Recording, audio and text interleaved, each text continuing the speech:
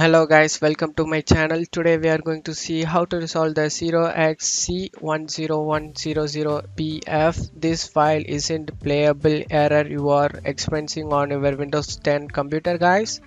So if you are trying to open up a file you may have downloaded from some source page and you are playing an mp4 file page having issue with let's jump straight into it guys. Let's fix that issue. Go to search menu and type troubleshoot t-r-o-u-b-l-e troubleshoot setting open it. And click on additional troubleshooters. Scroll down guys. Go to video playback find and fix problems with playing movies tv shows or videos. Click on it and click run the troubleshooter and I want to continue with this troubleshooter. Click on it.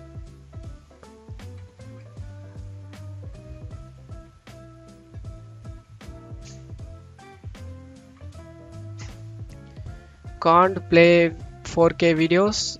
Your PC doesn't support hardware digital rights management.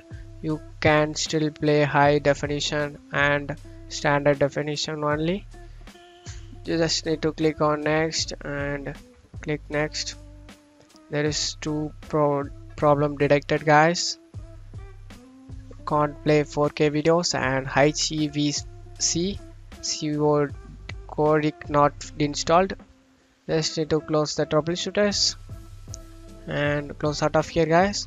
Hopefully that can able to resolve your problem guys. That's it for today's video. I hope this tutorial definitely helpful guys. Give me a like and subscribe. Thank you